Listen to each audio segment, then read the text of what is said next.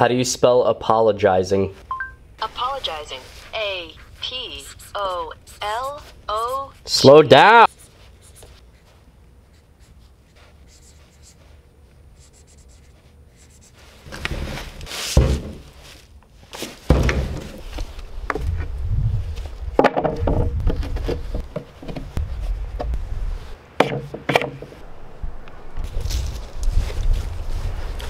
I've gone through three laptops in the last two weeks and over the course of transferring all that data, I lost all the Brain Blender building footage.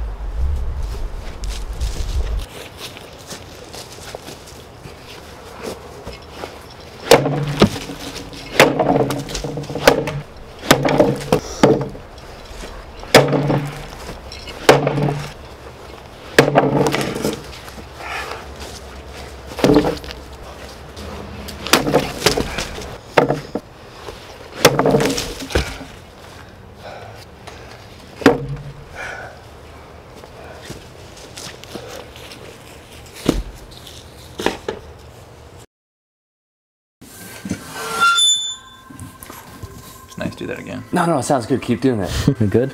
Alright. How's it going guys? Today, uh, I've made my way all the way out to Canada to hang out with two of my favorite people. We got Omar Isuf and we've got uh, Jamothy Hobbleton from The third.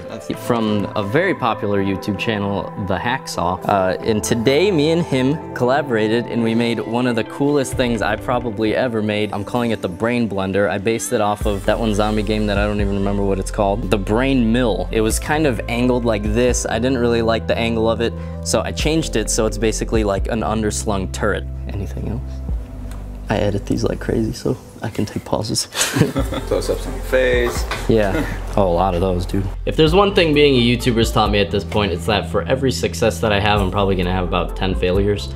Uh, but sometimes I have nine failures. So if instead of always focusing on all the times that I'm successful, if I instead try to be grateful or or thankful for those times when I only mess up nine times, it makes the whole trial and error process a whole lot easier. But anyways, guys, let me show you how the Brain Blender hopefully works. So it's actually incredibly simple. The whole uh, drive system and the battery is just an angle grinder, but there is a lot added to it, obviously. Just attaching a giant saw blade with sawzall blades riveted to it and just holding it like that and spinning it would probably be the stupidest thing I could possibly do. So I built this cage around the blade to protect me from debris or if maybe one of the sawzall blades pops off. Should keep me pretty safe. Now, make no mistake, I'm not getting better at welding. All the welding was done by James and his friend Ian, and they fixed this thing when it broke down way more times than I care to mention. Like seriously, thank you guys so much. I could not have done this without you. But what we've done here is we've rerouted the switch or just kind of extended it, I guess, so that it goes all the way back here. So you actually turn it on by pushing in this button instead of pulling the trigger down here. Now I am a little nervous to see if this actually works because the way that we had it set up over at uh, the Hacksmith's lair is that he had one of his super powerful LiPo batteries inside this thing and it was directly wired to the motor. That had its own problems. The wires kept on melting and we would attach some, uh, I think they were resistors or something, and those would just die immediately. So if you'll notice, we never run the thing for very long because it actually pretty much dies after every single time that we used it. But this time we've just reconnected the wires and I'm using the regular DeWalt battery, but I think there's all this like technology on the inside that will make it so that it might turn off if it works too hard. I really hope that's not the case. That would really suck. But just in case, uh, the blade that we're making should take a lot of precautionary measures to make sure it's not overly heavy. So yeah, let's get to work. All right, so in the last 10 seconds, I've realized that I can save a ton of weight by, instead of using four blades, I use these three really long blades, and since there's 60 teeth on this saw blade, I can use them as uh, measurement units to space out these three blades perfectly. Using the really long ones as opposed to the really short ones allows me to space out the rivets a lot farther, which gives it a lot more resistance to leverage. Because if the rivets are sitting super close to each other, they're super easy to shear. And with the three blade design, since the only thing making contact is gonna be the end of these long ones, the teeth would just be for show, I guess. I can trim out all the extra saw blade and just save a ton of weight on this thing, and it should be able to run really well. Hopefully, that's the hope. None of this is set in stone. I'm really looking forward to messing up nine times. Nine more times, I guess. All right, I'll do one here, here, might as well do a third. I'm gonna clamp the heck out of these. I do not want these getting caught and whipping around in the drill press. And I'm gonna use a cobalt drill bit to drill through this hardened steel. All right, close enough. A little bit of lube. Here we go.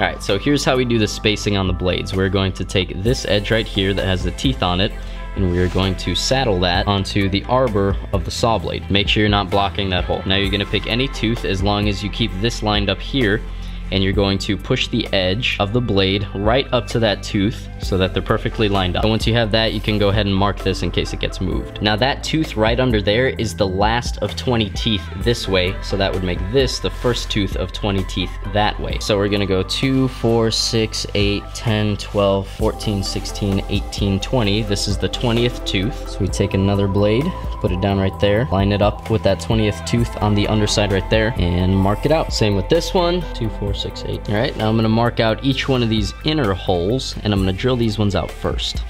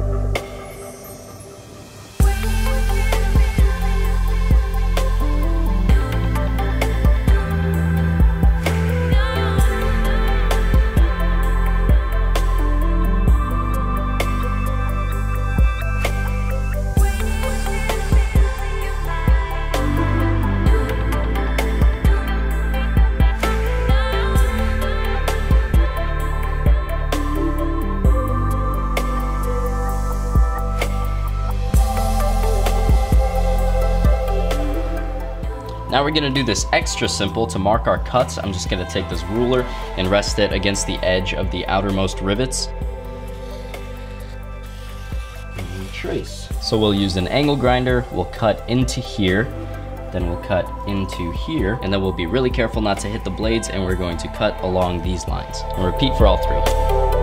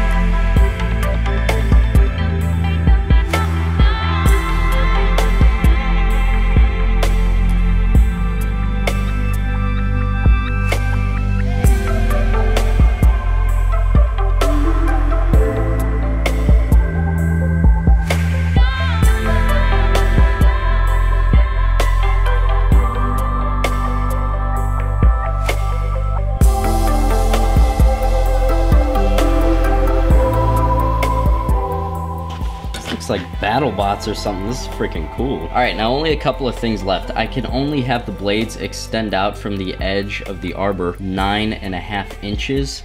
These are a little past 11 inches, so I'm gonna have to trim these about right here.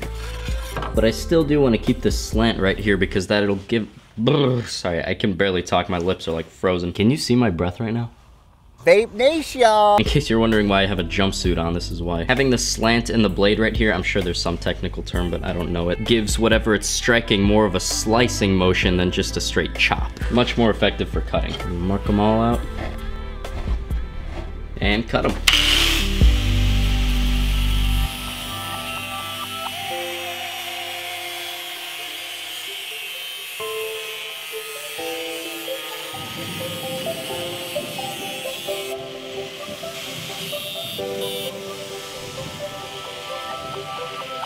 I'm gonna use a flap disc to put a little bit of a bevel on this blade. Doesn't have to be anything too serious. Once this gets up to speed, it's really not gonna matter much.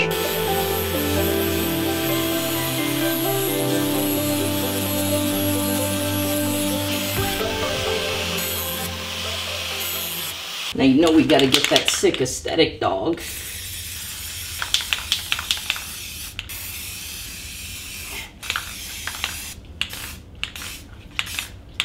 Now, I want this to be dry by the morning, so I'm gonna kind of rush this. These rivets should sort of elevate the blade so the paint doesn't smudge. Ah, I need more paint.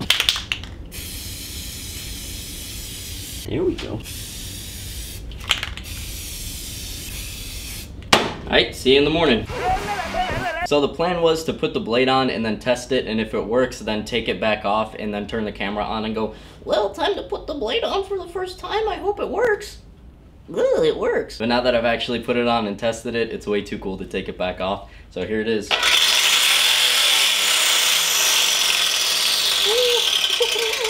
That was running it for like one second and it got freaking fast, dude. This thing is gonna annihilate whatever produce I put in front of it. Now guys, in my 22 years of life, I've destroyed a lot of things.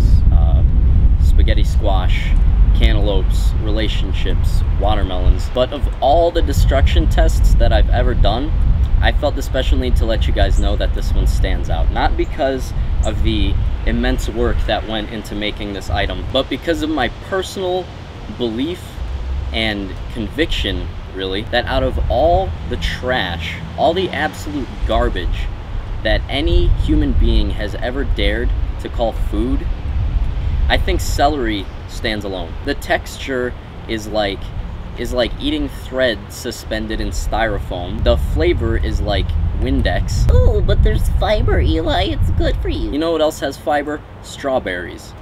The probably the best thing ever. There is no reason that modern day man should be eating celery. So with that said, I devote this sacrifice to my ancestors and to anybody who has ever been tricked into thinking that there's some reason that they should be eating celery.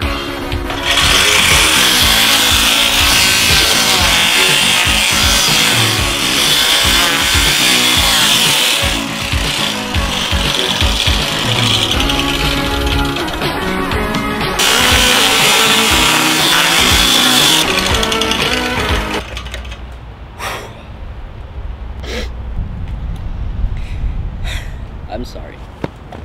I was just. It was really a spiritual. A spiritual experience for me. Alright guys, obviously I hope you enjoy the video and stuff, but honestly I really, really, really miss just coming out into the garage, building a thing, bringing it inside, editing the video and uploading it, and being able to upload, you know, twice a week because I'm doing it that way. So like, I really hope you guys like the collabs and stuff, but I'm just gonna be doing normal videos for some time now, okay guys? I'm 99% positive that you guys will not be opposed to the idea of me uploading more often, so uh, that's, that's about all I got for today though, guys. Thank you all very much for watching. I'll talk to you later. Bye.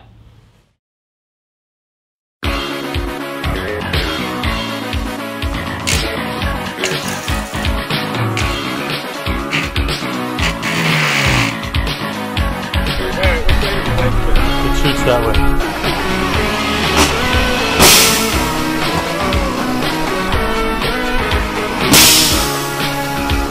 Shots correct there.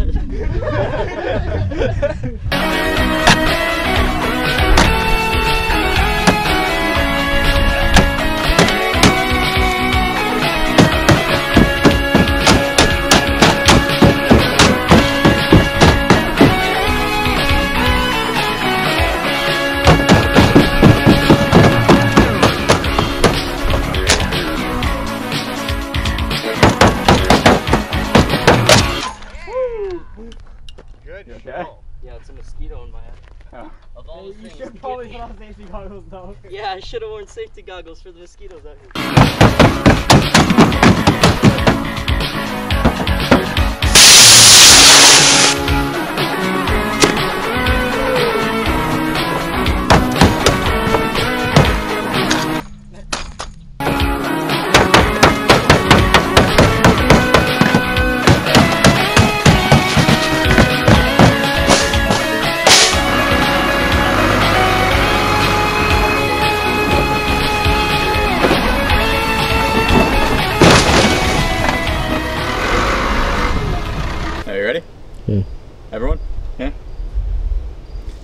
It cuts grass.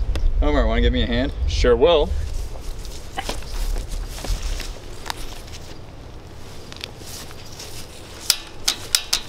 Oh, we didn't unplug it. Replug. Did it cut the grass? Oh, yeah. Hey, it did. What a beautiful lawn. know it can kill cardboard. Wait, wait, sorry, can you start again? I just hit the button. So we know it can kill cardboard, but how does it fare against the pumpkin menace? that was an instant dead stop, dude. You hit the wood. Oh, it the You wood hit for the wood, didn't you? Did I? I think so. Well, I annihilated that pumpkin too. Something flew up at me. really? Let, let it spin up a bit more. Mm-hmm. And make sure not to hit the wood. Should I go for this one here? Keep it just a little higher. I think it definitely clipped the wood. No, that's just how it do. Yeah, you hit the wood there. I did? Yeah. What the heck? I think it's deflecting it downwards. Hold on. Maybe. You see that spark though? I can't tell if that's just a spark from the contactor. Hold on. I'm gonna see if it's hot. Toasty? Oh, melted off. What? What? Oh, is that why it was sparking? Yep. It's this wire. Smell that stinky. Well, at least you look good. Oh, I want to see him explode though. The pumpkin. All right, so because of the shape of the blades, shaped downwards like this, when they would slam into the pumpkin, it would deflect them downwards.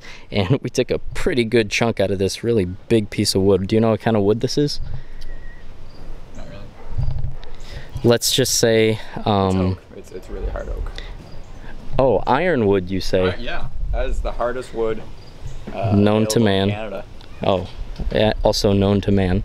So, uh, that's pretty good. It's a pretty decent chunk out of it. Still got a scoop. Yeah, well, is that about good? Yeah, that's good. Okay. Like how Ian's sitting like he's just watching like a movie. On the tiniest screen of all time. he's like, this is Where's the popcorn? I've ever watched in my fucking life. I don't even have any goddamn popcorn. Wait, so th- this is the outro then, right? Do we do an outro? Yeah, we can do an outro. Yeah. Move in a bit, James.